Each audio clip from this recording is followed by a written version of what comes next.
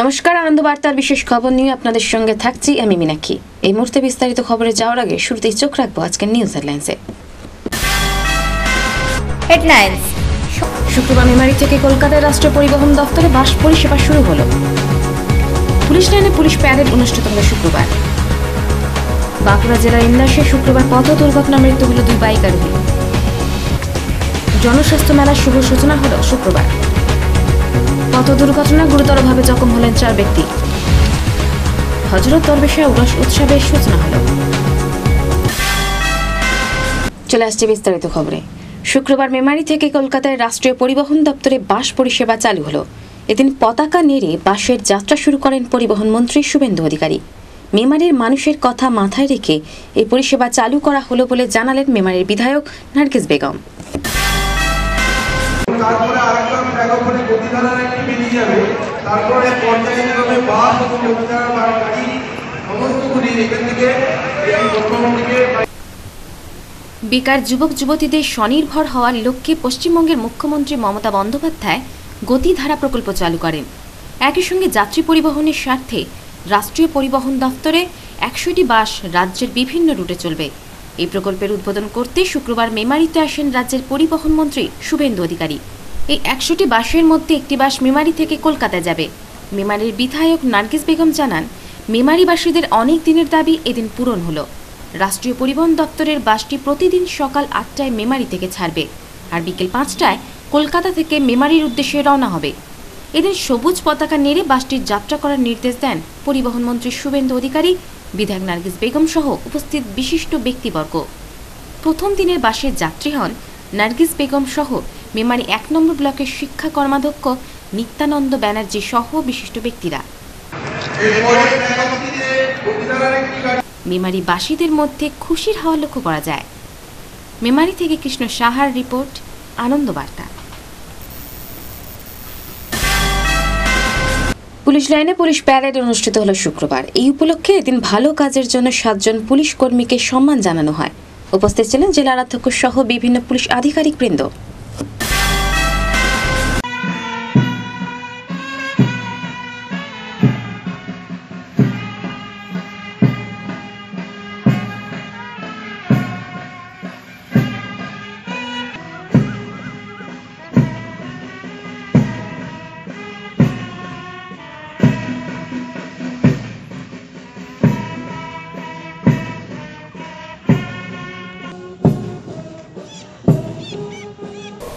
শুক্রবার পুলিশ লাইনে পুলিশের প্যারেড অনুষ্ঠিত হল।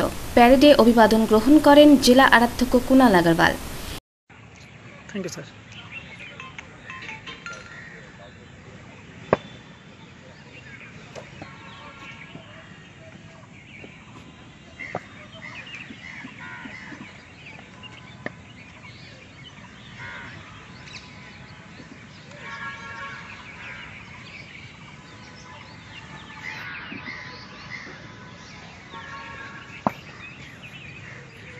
বসন্তকালে শুরুতে এই মনোরম সকালে প্যারেড গ্রাউন্ডে সকলকে স্বাগত। শীতের শেষে বসন্তের আগমনে প্রকৃতি আজ রঙিন সাজে সেজে উঠেছে। সাথে সাথে আমরাও আজ সুস্থ সুন্দর মনে সকলে এখানে উপস্থিত হয়েছি। সাহস, একাগ্রতা, ধৈর্য, নিষ্ঠা আর সর্বোপরি একতা এইগুলি আমাদের পুলিশ ডিপার্টমেন্টের চাকরির মূল মন্ত্র। ডিপার্টমেন্টের সর্বস্তরে এইগুলি প্রয়োজন আমাদের ডিপার্টমেন্ট বিভিন্ন পদমর্যাদা থাকলেও একবারে নিচের স্তর থেকে সর্বোপরি স্তর পর্যন্ত সকলকে সমানভাবে কাজ করতে হয় আমাদের ডিপার্টমেন্ট একটা বড় গাছের মতো এই নিচু স্তরের কর্মীরা আমাদের সেই গাছের মূল বা গোড়া যার উপর ভর করে গাছটা দাঁড়িয়ে আছে ডিপার্টমেন্টের বিভিন্ন উইংস হলো তার শাখা প্রশাখা Passe! Okay. left, left side, left. Bitte move, left, left side.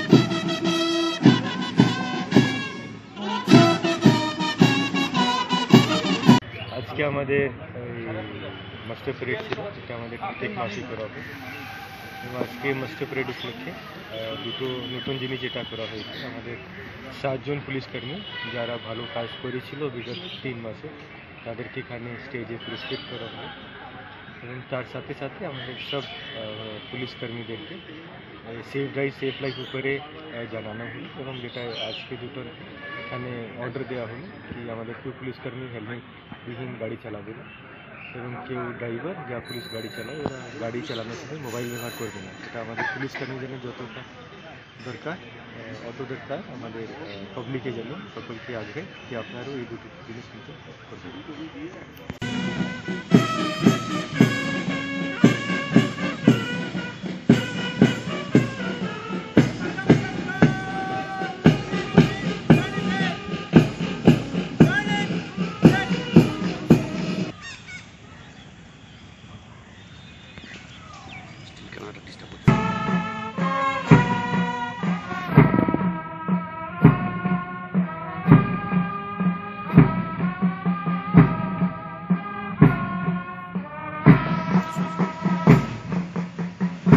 এদিন জেলা আরাধ্যক্ষ জানান, প্রতি মাসেই এইরূপ প্যারেড অনুষ্ঠিত হয়।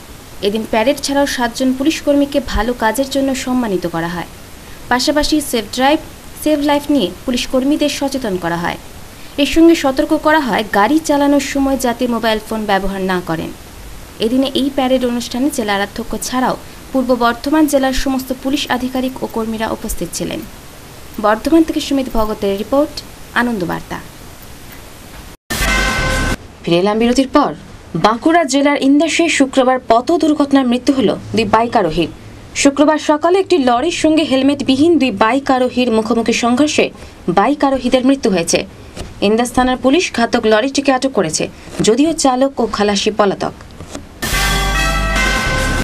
শুক্রবার সকালে বাঁকুড়া জেলার ইন্দাসে বামুনিয়া হাটতলা থেকে দিঘল গ্রাম পঞ্চায়েত অফিসের মাঝামাঝি রাস্তায় একটি মোটরবাইক ও লরির মুখোমুখি সংঘর্ষে মৃত্যু হল দুজনের।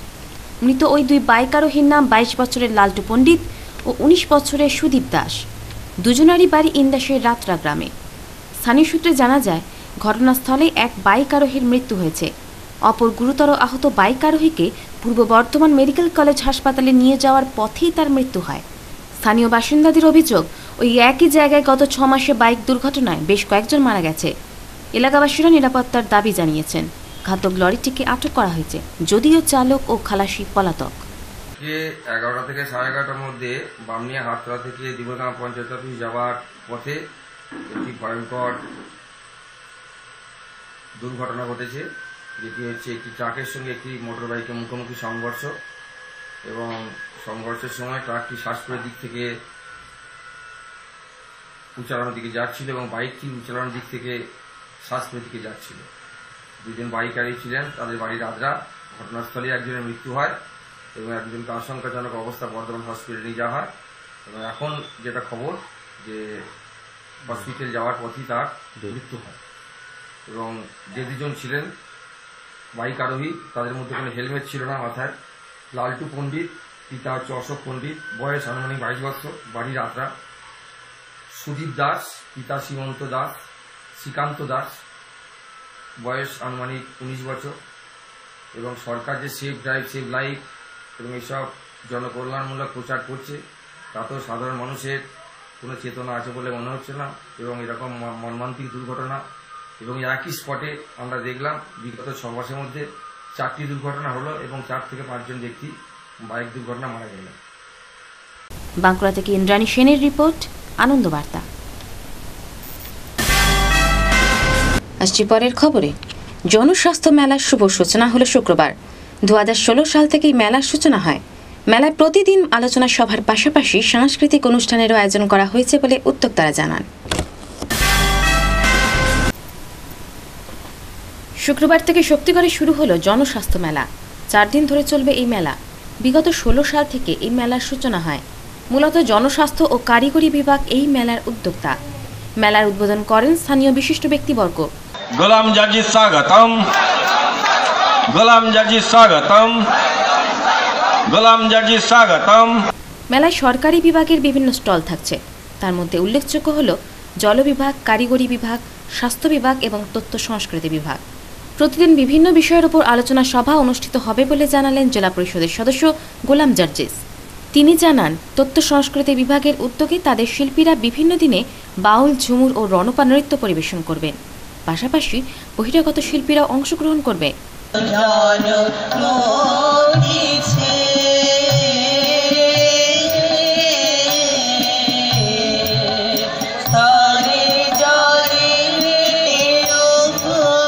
মেলায় সরকারি স্টলের পাশাপাশি বিভিন্ন ব্যবসায়িক প্রতিষ্ঠান পসরা নিয়ে হাজির হয়েছেন। মেলা ঘিরে এলাকাবাসীদের উৎসাহ ও উদ্দীপনা লক্ষ্য করা যায়। আমরা দু হাজার ষোলোতে শুরু করেছিলাম, এটা দু হাজার আঠারো। এই মেলার মূল আকর্ষণ আমাদের পশ্চিমবঙ্গ সরকারের জনস্বাস্থ্য কারিগরি বিভাগ অর্থাৎ পিএইচ যে সমস্ত কাজকর্ম, জল, মানুষের কাছে পৌঁছে দেওয়া, নলবাহিত পরিশুদ্ধ পানীয় জল, পাউচ জল থেকে শুরু করে মিনারেল ওয়াটার সেই সম্পর্কে জল সম্পর্কে আমাদের এখানে পরীক্ষা কেন্দ্র হচ্ছে। জল সম্পর্কে আমরা জল পিএইচি জল মানুষকে খাওয়াচ্ছি। এছাড়া স্বাস্থ্য বিভাগে আমাদের আশাকর্মীরা আমাদের বিপিএসসির ব্লক প্রাইমারি হেলথ সেন্টার থেকে আমাদের সমস্ত কর্মীরা এসেছেন। তারা তাদের কথা বলবেন এবং বিভিন্ন দিনে এবং আগামীকাল আমাদের জল নিয়ে সেমিনার আছে। আমাদের ছাব্বিশ তারিখে আশাকর্মীদের কুইজ কনটেস্ট আছে, আইসিডিএসের কুইজ কনটেস্ট আছে, বিভিন্ন দপ্তরের আমাদের কাজকর্ম সরকারের সাথে তুলে ধরা আর মানুষকে অ্যাওয়ারনেস দেওয়া। আপনারা জঞ্জাল কোথাও জমা করবেন না, নোংরা করবেন না, বন জঙ্গল রাখবেন না, সব পরিষ্কার করুন। এটা জনস্বাস্থ্যের মূল থিম আর সর্বোপরি এই মেলার মধ্য দিয়ে তারপরে লোকপ্রসার প্রকল্পের শিল্পীদের মধ্য দিয়ে পশ্চিমবঙ্গ সরকারের তথ্য সংস্কৃতি বিভাগের আমরা এটাকে প্রচার করছি। আর এই মেলার মধ্য দিয়ে অনেক মানুষকে মানে মানুষের জমায়েত সেখানে সেই কথাগুলো তুলে ধরছি। এটা আমাদের মূল থিম কদিন ব্যাপী এই মেলা চলবে বা কী কী অনুষ্ঠান থাকছে? চার দিনব্যাপী আমাদের এই মেলা। আজ তেইশে ফেব্রুয়ারি শুক্রবার মেলা শুরু হচ্ছে। শেষ হবে ছাব্বিশে ফেব্রুয়ারি সোমবার এই মেলার সমাপ্তি ঘটবে। এর মধ্যে আছে আমাদের পশ্চিমবঙ্গ সরকার এর তথ্য, সংস্কৃতি বিভাগের লোকপ্রসার প্রকল্পের শিল্পীরা, তারা তাদের গানের মধ্য দিয়ে, তাদের শিল্পকর্মের মধ্য দিয়ে প্রচার করবে। আজকে যেমন বাউল গান আছে, কাল ঝুমুর গান আছে পরশুদিন আপনার আছে রনপা নৃত্য, তারপর দিন আছে আপনার পশ্চিমবঙ্গ সরকারের শিল্পী দ্বারা তথ্য, সংস্কৃতি বিভাগের আপনার রাইবেশন নাচ। এছাড়াও আমাদের বিভিন্ন শিল্পীরা এসছেন, আসছেন বিভিন্ন দিনে। তারা সেই সমস্ত শিল্পীরা গান পরিবেশন করবেন। এই মেলার বাজেট কত? এই মাল্লার বাজেট তিন লক্ষ টাকা। কতগুলো স্টল থাকছে? কি কি স্টল থাকছে? সেখানে স্টল থাকছে পাবলিক হেলথ ইঞ্জিনিয়ারিং ডিপার্টমেন্টের স্টল থাকছে আইসিডিএসের স্টল থাকছে এখানে আমাদের হেলথের স্টল থাকছে। এরকমভাবে আমাদের গভর্নমেন্টের আপনার বিভিন্ন ডিপার্টমেন্টের স্টল আছে দশটা। স্টল দশটা আর বাকি আমাদের ডেলি কর্মসূচির মধ্যে আমাদের অ্যাওয়ারনেস প্রোগ্রাম আছে সরকারের মূল মানে যে প্রগতিমূলক কাজ, উন্নয়নমূলক কাজ আমাদের মমতা ব্যানার্জি, মুখ্যমন্ত্রী থাকাকালীন সব পশ্চিমবঙ্গ সরকারের, তার মুখ্য উদ্দেশ্য, আমাদের উদ্দেশ্য হচ্ছে এই মেলার সেগুলো প্রচার করা, মানুষের সামনে নিয়ে যাওয়া। শক্তিগড় থেকে জয়ন্ত অধিকারীর রিপোর্ট, আনন্দবার্তা। ফিরে এলাম বিরতির পর। পথ দুর্ঘটনায় গুরুতরভাবে জখম হলেন চার ব্যক্তি। মানকর রোডে কালভার্ট তৈরি করার জন্য যে গর্ত করা ছিল, তাতেই মোটর ভ্যানটি পড়ে যায়। মোটর ভ্যানেরই যাত্রী ছিলেন তারা। স্থানীয় বাসিন্দারা তাদের উদ্ধার করে বর্ধমান মেডিকেল কলেজ হাসপাতালে পাঠায়। এদের মধ্যে দুজনের অবস্থা আশঙ্কাজনক। বৃহস্পতিবার রাতে গুসকরা মানকর রোডে জামতারা ও সুয়াতার মাঝে ভয়াবহ পথ দুর্ঘটনায় গুরুতরভাবে জখম হলেন চারজন। এলাকাবাসীদের অভিযোগ, রাস্তায় কালভার্ট নির্মাণের জন্য গর্ত করা হয়েছে, কিন্তু তার জন্য কোনো সতর্কতার ব্যবস্থা নেওয়া হয়নি। দিনের বেলা যদিও বা দেখা যায়, রাতের অন্ধকারে তা অদৃশ্যমান। স্থানীয় সূত্রে জানা যায়, প্রায় পাঁচ মাস আগে ওই রাস্তা সংস্কারের কাজ শুরু হয়েছে। কয়েকটি কালভার্টের নির্মাণের কাজ চলছে। পুরনো কালভার্টটি ভাঙার পর পাশ দিয়ে বিকল্প রাস্তা তৈরির কাজ চলছিল। বৃহস্পতিবার হঠাৎই একটি যাত্রী বোঝায় মোটর চালিত ভ্যান ওই গর্তে পড়ে যায়। যাত্রীরা এরাল গ্রামে একটি ধর্মীয় জলসায় যাচ্ছিলেন। স্থানীয় বাসিন্দারা গর্তে পড়ে যাওয়া যাত্রীদের উদ্ধার করে জামতারা হাসপাতালে নিয়ে যায়। পরে সেখান থেকে তাদের পূর্ব বর্ধমান মেডিকেল কলেজ হাসপাতালে স্থানান্তরিত করা হয়। দুর্ঘটনাটা ঘটেছে আপনাদের বাড়ির লোকে আমাদের বাড়ির লোক সন্ধ্যাবেলাতে বেরিয়ে গেল জলসা শুনতে যাবার লেগে দিয়ে ওই এড়াল এড়াল দিয়ে তারপরে আমরা কিছুক্ষণ পর ফোনে শুনতে পাচ্ছি যে এ হয়েছে। কীভাবে দুর্ঘটনা হলো কিছু জানেন? না আমি তো জানি না আমি বাড়িতে ছিলাম। এখন এখন ওনারা কোথায় আছে? হসপিটালে। কোথায়? ওই কি হসপিটালে দিয়েছে বলছে তো কেমন কেমন আছেন উনি এখন? এখন ফোনে বললাম যে ভালো খুব একটা নাই কথা বলতে পারে নাই। কথা বলতে পারছেন না? না। ওই ঘটনার পরিপ্রেক্ষিতে শুক্রবার সকাল থেকে জামতারার বাসিন্দারা জামতারার বাস স্ট্যান্ডের কাছে রাস্তাটি অবরোধ করেন। তাদের দাবি আহত ব্যক্তিদের উপযুক্ত ক্ষতিপূরণ দিতে হবে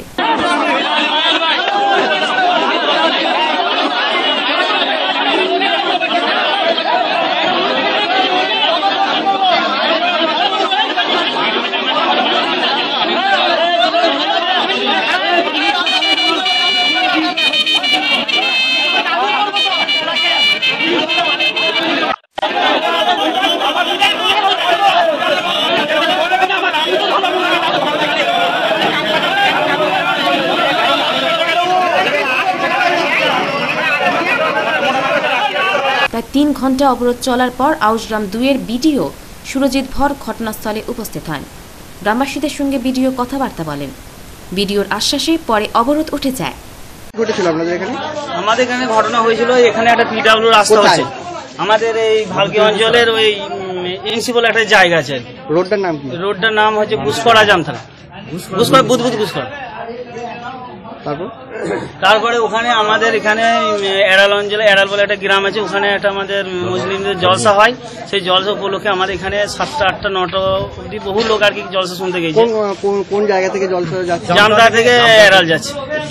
তা জলসা শুনতে যাওয়ার অব- এম, এম, অনেক জন ওই মানে একটা রোড যে কেটেছে না কোম্পানি তা ওই রোডটা মানে ওই দু সাইডে কোনো ব্যারিকেড বা কোনো মাটি দেয়নি খুব তা সেই অবস্থায় অনেকে পড়ে যাওয়ার অবস্থাতে সাইড হয়ে বেরিয়ে গেছে কিন্তু ওই মোটর ভ্যানটা সে বুঝতে পারেনি। সে চারজন যাত্রীকে নিয়ে ওখানে খাদে পড়ে যায়। কতটা করতে হবে দশ বারো ফুট। হ্যাঁ। খাদে পড়ে যাওয়া অবস্থায় পড়ে থাকে সেই অবস্থাতে আমাদের গ্রামই থেকে তিনজন আরও যাচ্ছিল তারা সেই অবস্থায় নেমে তাদের দিকে নিয়ে খুব কষ্টের মধ্যে তাদের তোলা হয়েছে বা তুলেছে। দিয়ে তারপরে জামদারা হসপিটালে নিয়ে এসে হসপিটাল এখানে ঠিকমতো ট্রিটমেন্ট না করতে পেরে বর্ধমান রেফার করা হয়েছে। তারা খুব অসংখ্য জানাই অবস্থাতেই আছে। তাদের নাম? তাদের নাম একজন হচ্ছে রিজাউল মোল্লা একজন শেখ মোহন শেখ রাজা আর শেখ সামি তাদের বয়স সবার কেমন হবে? বয়স একজনের চল্লিশ একজনের পঁচিশ একজনের আটত্রিশ একজন আঠাশ। তারা কি কর্ম করে কর্ম এমনি ধানের লিবার শ্রেণি ধান কাটা করে রাজমিস্ত্রি জোগাড় করে। আজকে আপনাদের কটা থেকে পথ অবরোধ চলছে? পথ অবরোধ হয়েছে, আজ সকাল চেষ্টা করেছিলাম যে পথ অবরোধ করব না নটার মধ্যে। কোনো একটা সিদ্ধান্ত যদি প্রশাসন বা বিডিও নেয় তাহলে কোনো পদ অবরোধ করব না। তারপরে দেখছি কোনো হুড়কম নিল না কোম্পানি থেকে মেঘনাথ কোম্পানিতে কোনো আসেনি। সেই অবস্থাতে ওই দেখলাম কোনো কিছু হচ্ছে না সেই অবস্থায় দেখলাম গরিব ছেলে তারা খাবে গিয়ে ওই অবস্থা পদ অবরোধ করতে বাধ্য থাকে এই ইয়েতে বিডিও সাহেব এসেছিলেন উনি কি বললেন?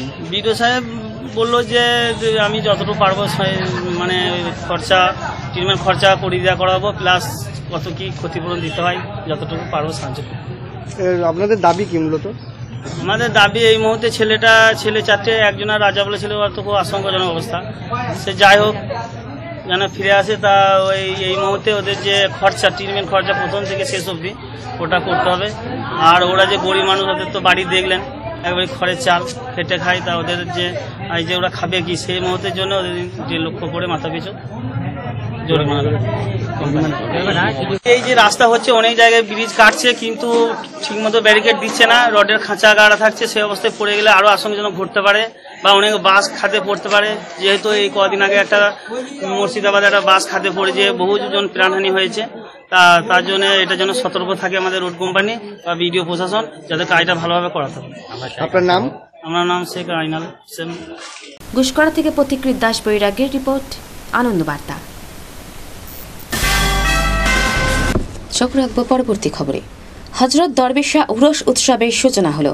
খণ্ডঘোষ ব্লকের সিহারা বাজারের কাঁটাপুকুর উত্তরপাড়ায় এই উরস উৎসবটি অনুষ্ঠিত হলো। উনচল্লিশ বছর ধরে চলে আসছে এই উরস উৎসব। খণ্ডঘোষ ব্লকের সিহারা বাজারে কাঁটাপুকুর উত্তরপাড়ায় বৃহস্পতিবার হজরত দরবেশা উরস উৎসবের সূচনা হয়। উনচল্লিশ বছরে পদার্পণ করল এই উরস উৎসব। হাজির হতে হাজির হতে পেরে তার নৈকট্য লাভের জন্য তার শুক্রিয়া আদায় করি। বলি নারা তুমি! হয়েছেন আল্লাহর অলি হয়েছে কারণ আল্লাহকে তারা খুশি করেছেন। আল্লাহর এবাদতে তারা মগ্ন ছিলেন। তেনারা বিভিন্ন ধর্মীয় আলোচনার পাশাপাশি নানারূপ অনুষ্ঠানেরও আয়োজন করা হয়। বহু দূর দূরান্ত থেকে মানুষ এদিন চাদর চড়াতে আসেন। এই এলাকা শুধু নয় পাশাপাশি বিভিন্ন গ্রাম থেকেও মানুষ উপস্থিত হন। সকল সম্প্রদায়ের মানুষজন এই উরস উৎসবে উপস্থিত হয়ে সাম্প্রদায়িক সম্প্রীতির এক নিদর্শন তুলে ধরেন। শুক্রবার সন্ধ্যায় প্রায় তিন হাজার মানুষকে খাওয়ানোর ব্যবস্থা করেন উদ্যোক্তারা।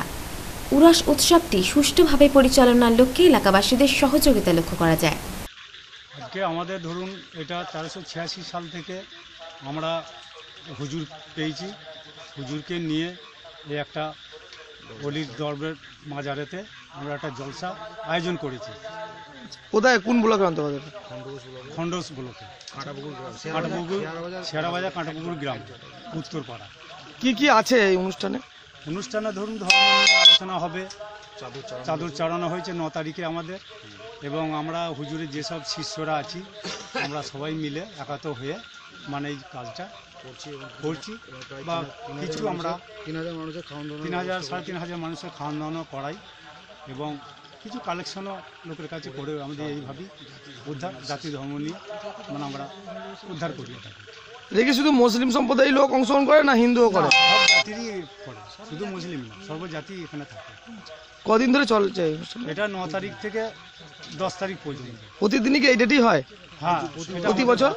প্রতি এখানে একটা জবরদস্ত পীর বা সাধক তার পৌরসভা কোথায় হচ্ছে? এটা? কাঁটাপুর উত্তরপাড়া।